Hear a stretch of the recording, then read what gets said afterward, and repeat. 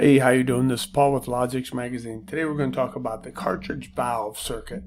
Pretty cool little circuit. I want to share with you how they worked and some particulars about them. We're going to really break down this circuit so you can see it in action and understand um, when you look at the hydraulic print, what's actually happening. I think that's really important. All right. So I found a great animation of a cartridge valve online that, that I wanted to share with you. So it's really got three parts, the sleeve, the spring, and the nozzle at the point here. So you'll see that show up here in just a minute. And then the ports open from the sides and then depending on how the what how far the adjustment is for this this cone right here depends on how much oil is permitted to go through the valve. So that's pretty much how that valve works. So I thought it was a great animation I wanted to share with you. Um, now, what I want to do is take a look at the um, actual valve, uh, the cartridge valve circuit in action. So let's put this thing in simulation. Let's go ahead, uh, we had it in simulation. Let's go ahead and, and watch this in action. Okay, so now our cylinder is gone. We can take a look at our fluid. All right, red's being uh, is under pressure. Okay, and now we're extending, we're pushing it back out. So I'm going to stop this, pause it. Okay, I'm going to take a few minutes and break this down just a little bit for you. Okay, so what we have here is we have our pump right here.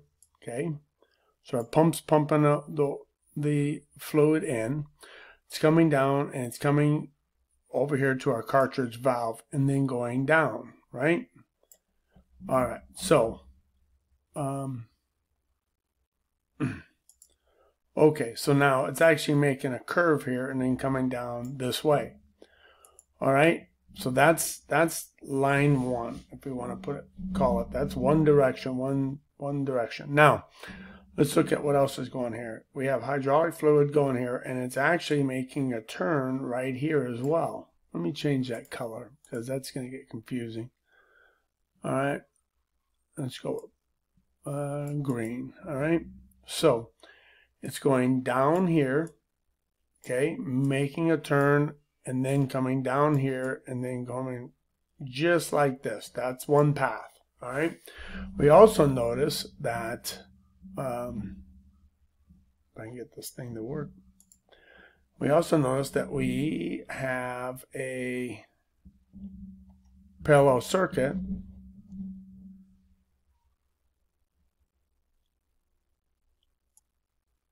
right here. Oh, let's erase that a parallel circuit coming down and making a turn, going up towards our our uh, three position valve here, and then crossing over and then back down, and then coming here and going over there, all right, through this restriction, and then down through the cartridge valve, and down to the actuator, the cylinder. So that's the that's another path that's being taken. All right. Let's clear that out. Okay, so now we have those two paths. So we got one path, path one, and we have path two. All right. Now, what I want to do is I want to eh, talk to you about something that a lot gets a lot of people confused, and it did me when I first started. This line right here. So it's coming down, but I told you it's going this way, but you're like, Paul, it's it's heading to the left as well. Well, what what you what's happening here is it's going there only because there's no no no valve or anything to stop it from going there, but it's not going into this cartridge valve and coming down.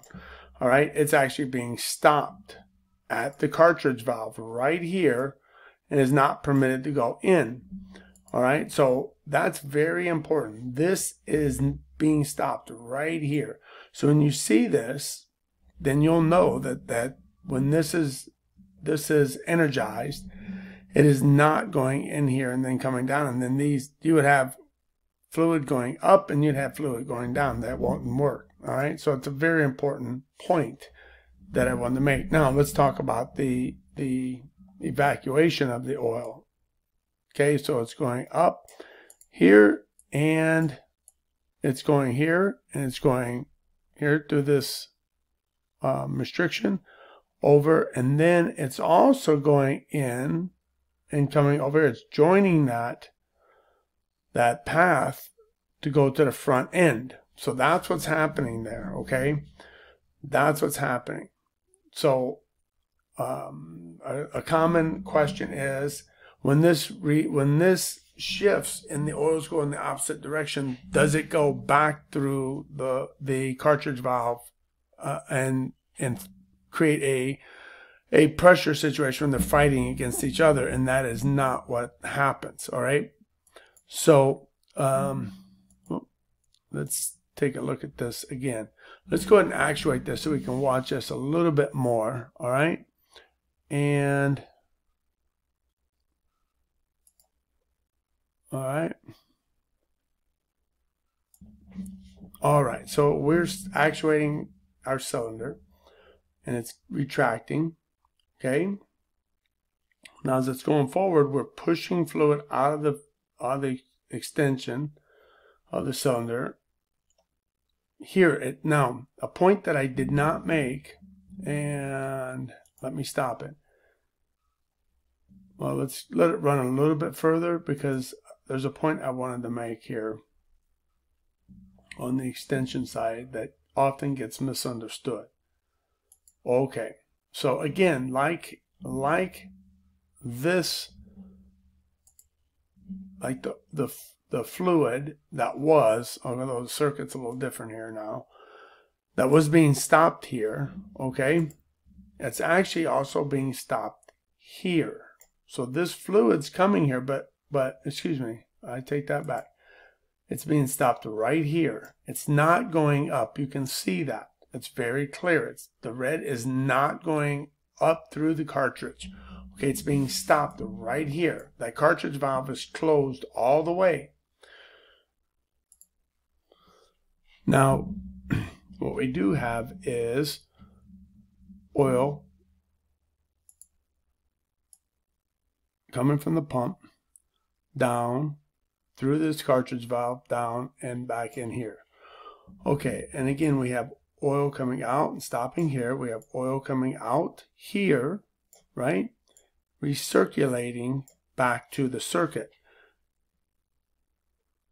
When we look at this valve here, this, this pump here, excuse me, we have oil coming through here, coming up this way, back down over here, and back into the, the extend side. So you can see what's going on. It looks rather confusing at first.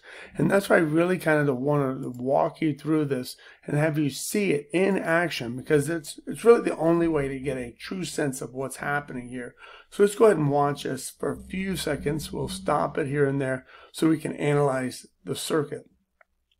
Now we've obviously, we've shifted right here uh, and we're feeding our fluid in here, right, for our extension.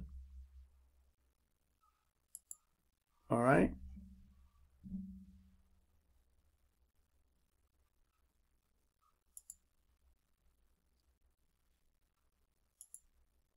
looks like we stopped our circuit for some reason. Okay. now we're back pushing oil out, but not to the top through this cartridge. Now as we, you know what, let's, let's see if we can't slow this, this circuit down just a little bit so we can study it a little better. Let's go with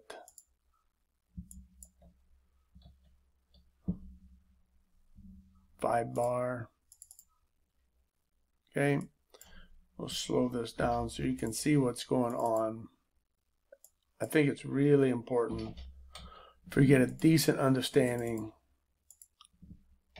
of the circuit if you're ever expected to um, troubleshoot it. And it's one of the issues. This is one of the circuits that gave me some trouble when I very first started uh, in the controls field. So let's get this back in motion. We'll take a look at it again.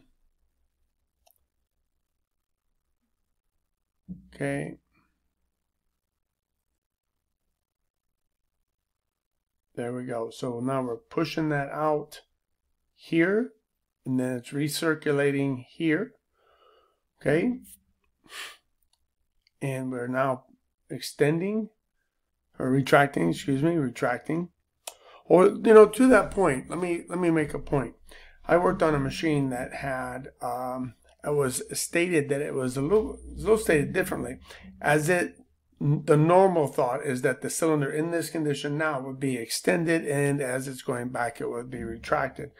When in fact it, the situation um, was we were actually pushing and pulling a part of a machine and uh, as we as as this cylinder was moving to the direction that it's moving we referred to that as retracting and as it was being pulled back into the the the um, cylinder uh, wall cavity that it was actually uh, extending. So, and the reason was it was a pulling and extending a part of the machine. So it was kind of an interesting discussion that we had about what was extending and what was retracting. Uh, but I lost on that one because it was referred, it was based off of what it was doing to the machine. Anyhow, just a side note. So I just wanted you to kind of see what was going on here in this circuit. Notice we're in our position three here. Now we're in position one. We are we are retracting, and now we're ex extending. I hope what I'm sharing with you is valuable. It was crucial for me when I first started in the controls field working on hydraulic systems. Again, let's take a look at this. It stops right here. It does go uh, through here and gets recirculated. Okay, we come up here and there's our circuit. It's also in parallel circuit here and feeding this cartridge valve as well. All right, so you're going to know you're going to have two to extend and two to retract. And that's very important when you're looking at the hydraulic um, schematic on a, on a, valve, a cartridge valve circuit. It's very important that you can identify that and that you understand the two to extend, two to retract. Very important uh, that you understand that when looking at this circuit. All right, so we just built a small electrical control circuit over here. Um, we'll go ahead and cycle this just a little bit more and then we'll we'll call it. All right. So there's our our switches, our limit switches there.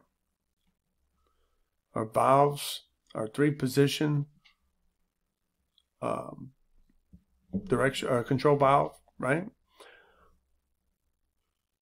And that and then our, our pump over here. We have some some restrict restriction ports there. Our tanks are right here, reservoirs, and that's pretty much the whole circuit. All right, so we can go ahead and stop it. Stop the, stop, stop it.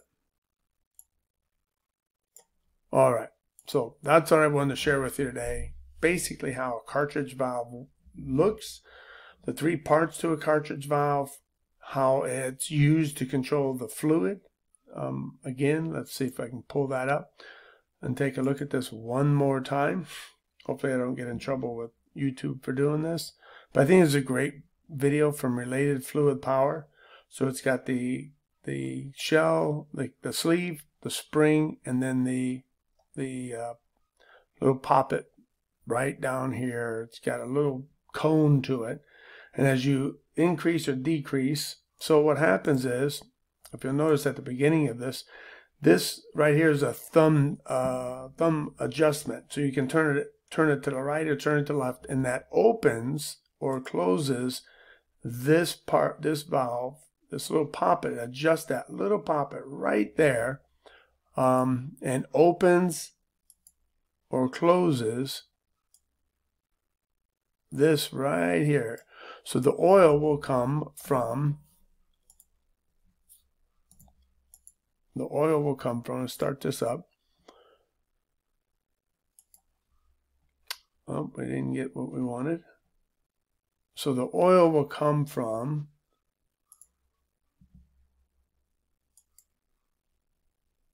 stop it right here from the sides. You'll notice, let's back it up. Right here, these are entrance ports for the oil. They'll go in here and they will go in there through these through these uh, grooves and then into this cavity and then this this little poppet right here, this little cone will move up and down depending on the finger adjustment and let fluid flow out right here. Okay, so that's pretty much how those cartridge valves work. And I think it's a great video that, to show us how that works. And when we look at the circuit, we look at the circuit. Um, let's take this and erase that and take that away. We look at our, our simulated circuit. We notice that we have two to feed and two to, two to extend, two to retract. All right. So I hope this has been helpful for you. So until next time, this is Paul with Logix Magazine. You guys keep programming, keep learning, keep growing. If you have any questions, let me know.